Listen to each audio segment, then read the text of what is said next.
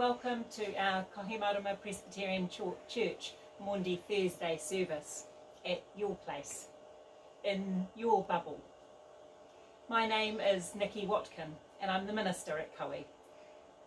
If you have a candle, a purple one from your worship kit, or just any old candle, let's light it now.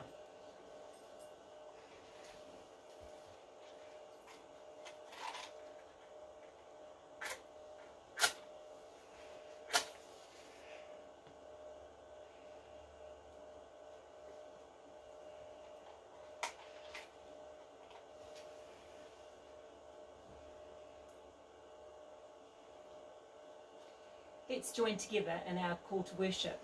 I invite you to follow in the bold on the screen. Christ's love is poured out for us, like water poured into a basin. Christ's love washes us clean. Christ's love shows us who we are to be and what we are to do. How blessed we are to know such love. Let's join together in prayer. Lord God, we gather tonight from our own bubbles, aware that you offer us connection and you draw us together as your people.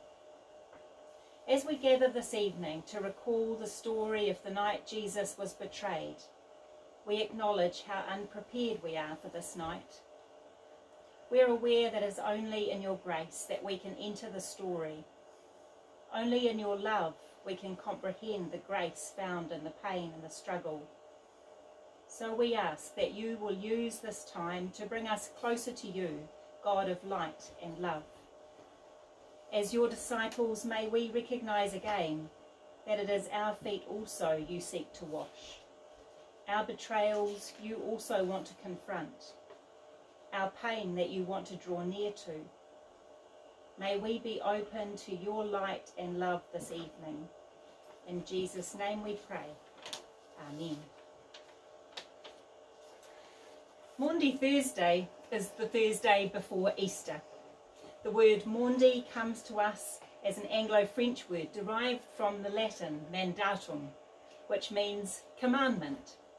It refers to when Jesus in the upper room during the Last Supper said to the disciples, a new commandment I give to you, that you love one another, even as I have loved you, that you also love one another. Maundy Thursday remembers the night of the final meal that Jesus had with his disciples, when he broke bread and lifted up the wine. It's also the night in which Jesus washed his disciples' feet. Maundy Thursday is also the night of Gethsemane, the night of anguish of soul as he faced his betrayal and his fast approaching death. And so Maundy Thursday has become a time when we gather to share communion, to wash feet, or to recognise the growing darkness in the story of Jesus. This year, however, we are unable to gather, and so we meet in new ways and allow our individual tables to be joined by the presence of Christ. So you are invited to be at your own table, whilst being invited to the table of our Lord. Every meal we share is a reminder of the holy meal of communion. All places are sacred, where God is invited to be present. Tonight we will remember that amidst all the washing of our hands, Jesus wants to wash our feet. Jesus wants to humbly serve us in a way that we may find uncomfortable. He's not interested in the parts of us that are already clean, only the parts that need to be washed. And as we're washed by Jesus, we will discover the good that's been hidden. But this was not simply an act of Jesus. This was an invitation for us to follow. It is our call to become foot washers. It's our call to be willing to face the parts of the person next to us that are not so pretty and help wash away their dirt in order to find in them the good that was hidden. So let us listen to the words of John's Gospel.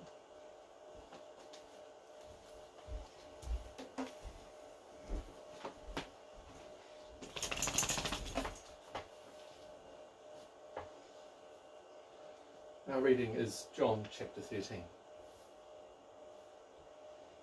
It was just before the Passover festival. Jesus knew that the hour had come for him to leave this world and go to the Father. Having loved his own who were in the world, he loved them to the end. The evening meal was in progress, and the devil had already prompted Judas, the son of Simon Iscariot, to betray Jesus. Jesus knew that the Father had put all things under his power, and that he had come from God and was returning to God. So he got up from the meal, took off his outer clothing, and wrapped a towel around his waist.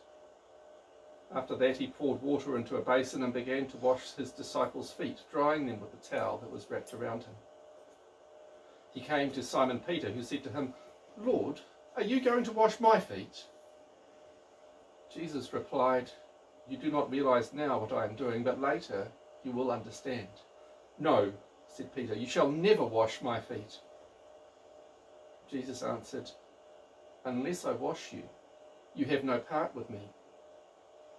Then, Lord, Simon Peter replied, Not just my feet, but my hands and my head as well. Jesus answered, Those who have had a bath need only to wash their feet. Their whole body is clean. And you are clean, though not every one of you. For he knew who was going to betray him, and that was why he said, Not everyone was clean. When he had finished washing their feet, he put on his clothes and returned to his place. Do you understand what I have done for you? He asked them. You call me teacher and Lord, and rightly so, for that is what I am. Now that I, your Lord and teacher, have washed your feet, you should also wash one another's feet. I have set you an example that you should do as I have done for you. Very truly I tell you, no servant is greater than his master, nor is a messenger greater than the one who sent him. Now that you know these things, you will be blessed if you do them. We give thanks to God for this reading from God's Word.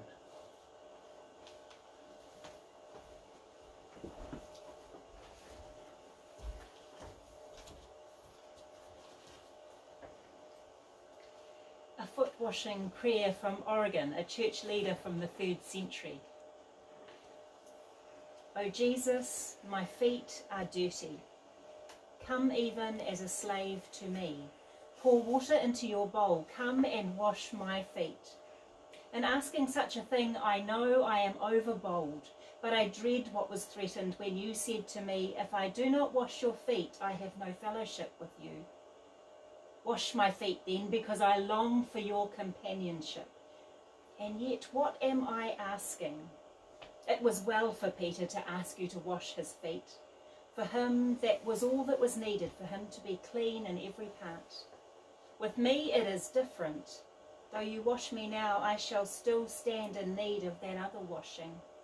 The cleansing you promised when you said, There is a baptism I must needs be baptized with.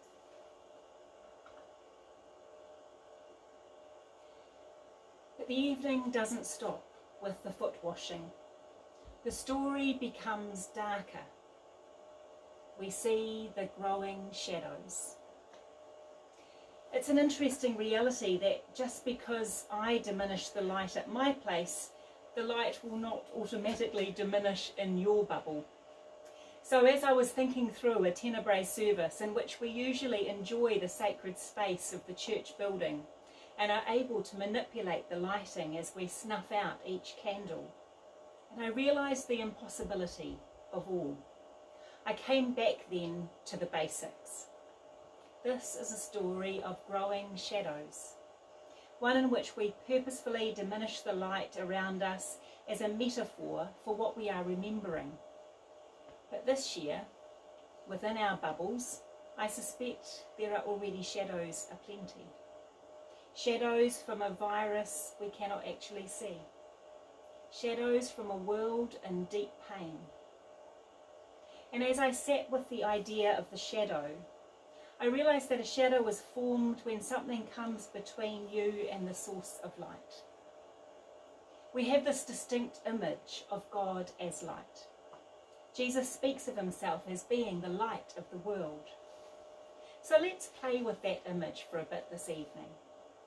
I invite you to find a source of light in the room you're in. Turn it off and on if it wasn't already on. Take a moment to recognise how simple it is for you to let the light be present. Notice that because it is not yet dark, the light is not so obvious. But remember, when it is dark, how obvious is the light? Now I invite you to take a moment to find a torch and a thing.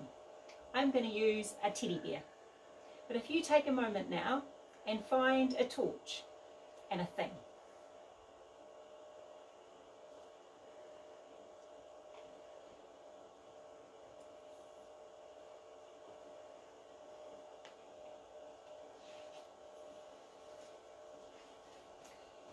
I invite you to hold your thing, like my teddy, against a bare uh, wall and try shining the torch in front of and around the teddy and see if you can create a shadow.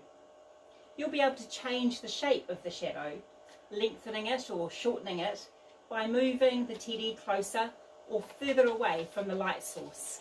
Let's have a try.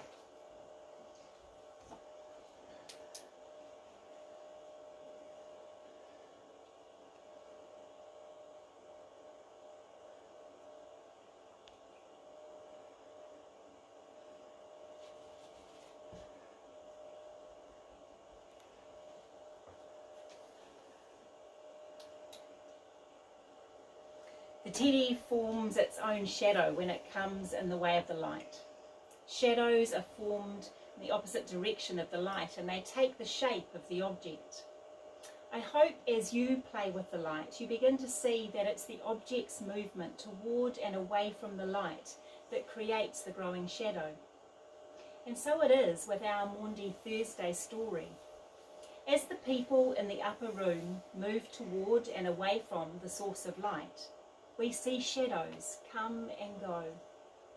So as we read these typical passages of Tenebrae, let's take a moment to see also what the shadows are doing. Tenebrae is Latin for shadows or darkness, and the Tenebrae service comes from way back in the 4th century in the monastic communities. We're also going to use a very old prayer, Lord, have mercy three simple words that over the centuries have brought people to their knees. So after each reading, I will respond in the growing shadows and I invite you to respond, Lord, have mercy. But first let us sing together the hymn, When I Survey the Wondrous Cross.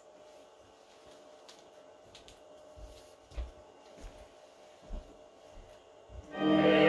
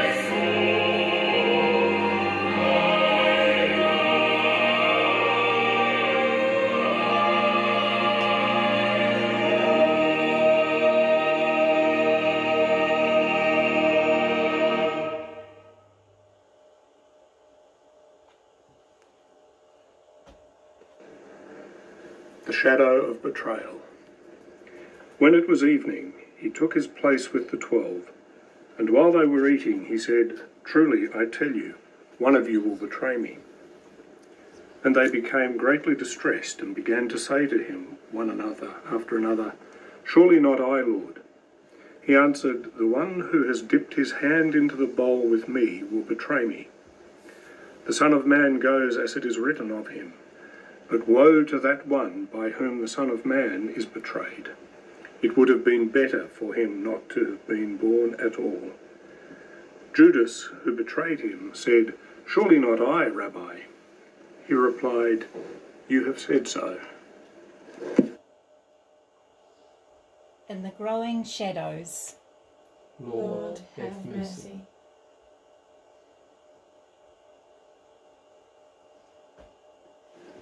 The shadow of denial. Then Jesus told them, This very night you will all fall away on account of me.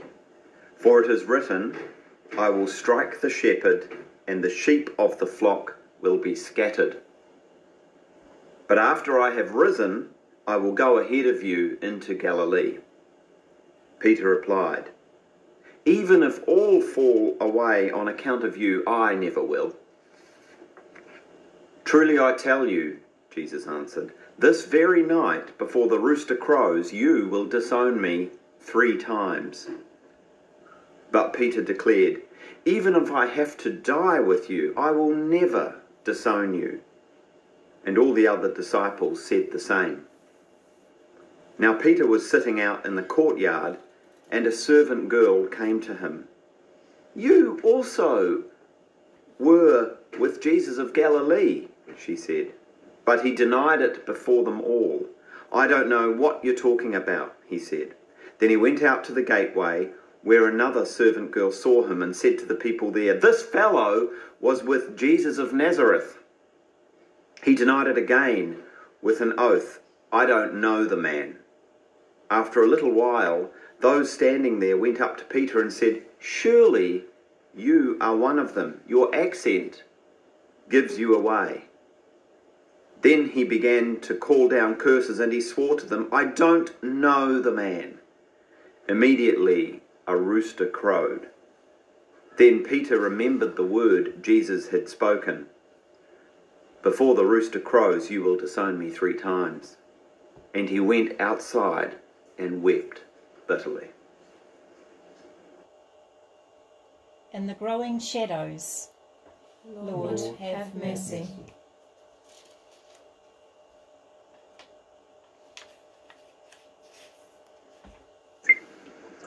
The shadow of aloneness. Reading is from Matthew 26, verses 36 to 45. Then Jesus went with his disciples to a place called Gethsemane, and he said to them, Sit here while I go over there and pray. He took Peter and the two sons of Zebedee along with him, and he began to be sorrowful and troubled. Then he said to them, My soul is overwhelmed with sorrow to the point of death. Stay here and keep watch with me. Going a little further, he fell with his face to the ground and prayed, My father, if it is possible, may this cup be taken away from me, yet not as I will, but as you will. Then he returned to his disciples and found them sleeping. Couldn't you men keep watch with me for one hour? he asked Peter. Watch and pray so that you will not fall into temptation.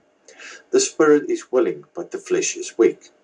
He went away a second time and prayed, My father, if it is not possible for this cup to be taken away unless I drink it, may your will be done. Then he came back. He again found them sleeping, because their eyes were heavy. So he left them and went away once more and prayed the third time, saying the same thing. Then he returned to the disciples and said to them, Are you still sleeping and resting? Look, the hour has come. The Son of Man is delivered into the hands of the sinners. In the growing shadows, Lord, have mercy.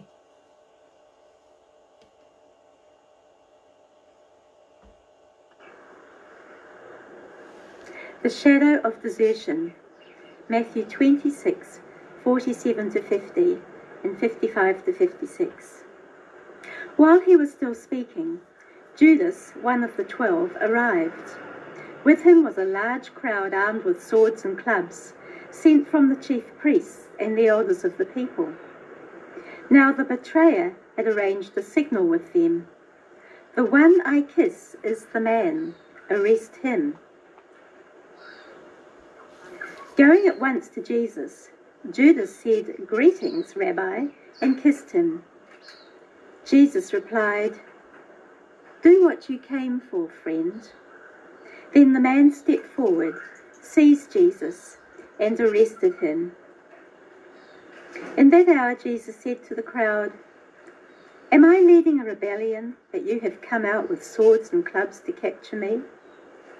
Every day I sat in the temple courts teaching, and you did not arrest me. But this has all taken place that the writings of the prophets might be fulfilled. Then all the disciples deserted him and fled. In the growing shadows, Lord, Lord, have have mercy. mercy.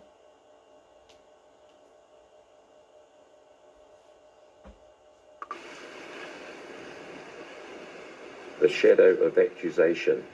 Matthew 26, verses 59 to 68. The chief priests and the whole Sanhedrin were looking for false evidence against Jesus so that they could put him to death. But they did not find any, though many false witnesses came forward. Finally, two came forward and declared, This fellow said, I am the, to destroy the temple of God and rebuild it in three days. Then the high priest stood up and said to Jesus, Are you going to answer? What is this testimony that these men are bringing against you? But Jesus remained silent. The high priest said to him, I charge you under oath by the living God. Tell us if you are the Messiah, the Son of God. You have said so, Jesus replied. But I say to all of you, from now on you will see the Son of Man sitting at the right hand of the Mighty One and coming on the clouds of heaven. Then the high priest tore his clothes and said, He has spoken blasphemy. Why do we need any more witnesses? Look, now you have heard the blasphemy. What do you think? He is worthy of death, they answered. Then they spit in his face and struck him with their fists. Others slapped him and said, Prophesy to us, Messiah. Who hit you? In the growing shadows, Lord, have mercy. The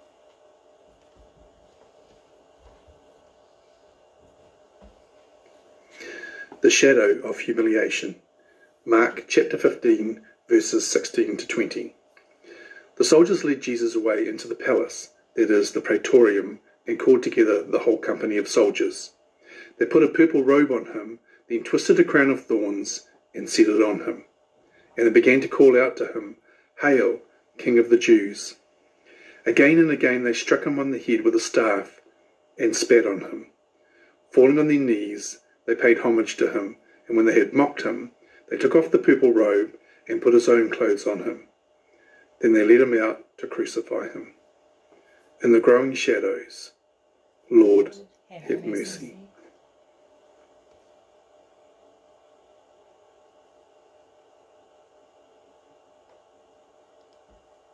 The shadow of death, the reading. Luke 23 33 to 46. When they came to the place called the skull, they crucified him there, along with the criminals, one on his right, and the other on his left. Jesus said, Father, forgive them, for they do not know what they are doing. And they divided up his clothes by casting lots. The people stood watching, and the rulers even sneered at him. They said, He saved others. Let him save himself if he is God's Messiah, the chosen one. The soldiers also came up and mocked him. They offered him wine vinegar and said, If you are the king of the Jews, save yourself. There was a written notice above him which read, This is the king of the Jews. One of the criminals who hung there hurled insults at him. Aren't you the Messiah? Save yourself and us. But the other criminal rebuked him. Don't you fear God, he said, since you are under the same sentence? We are punished justly, for, for we are getting what our deeds deserve. But this man has done nothing wrong. Then he said, Jesus, remember me when you came into your kingdom. Jesus answered him, Truly I tell you, today you will be with me in paradise. It was now about noon, and darkness came over the whole land until three in the afternoon, for the sun stopped shining, and the curtain of the temple was torn in two. Jesus called out with a loud voice, Father, into your hands I commit my spirit. When he had said this, he breathed his last. In the growing shadows, Lord, Lord, have mercy.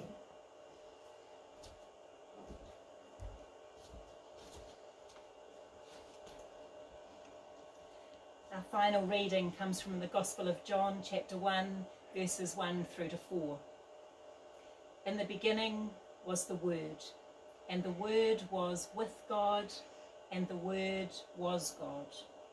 He was in the beginning with God. All things came into being through him, and without him not one thing came into being.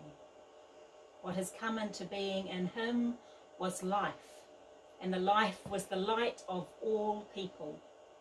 The light has come into the world, but people love the shadows rather than the light. A poem. We determine shadow's growth in choice of distance, seeking space from further pain, steps away from nails and other unpleasantries. Yet somehow we discover that nails can hurt more from far away, and in daring to stay with them, the things we fear, the things from which we hide, hurt less, as clinging to the cross, the shadows flee. Let's join and sing the hymn, Rock of Ages, cleft for me. And notice the words, nothing in my hand I bring, simply to thy cross I cling.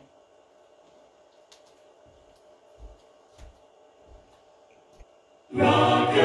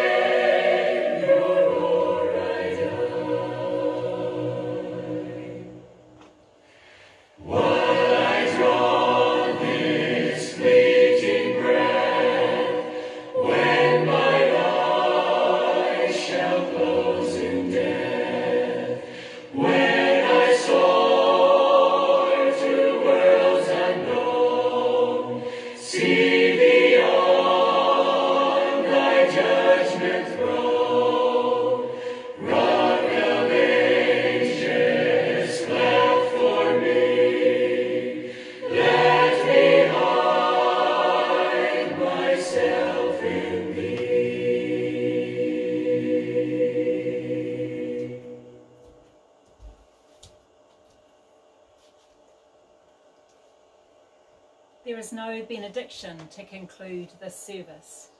You are simply invited to blow out your candle and turn off your device that connects us in silence. For the story is left unfinished. For today, there is no happy ending. Tomorrow must come, and tomorrow's tomorrow, before we will see the light renewed.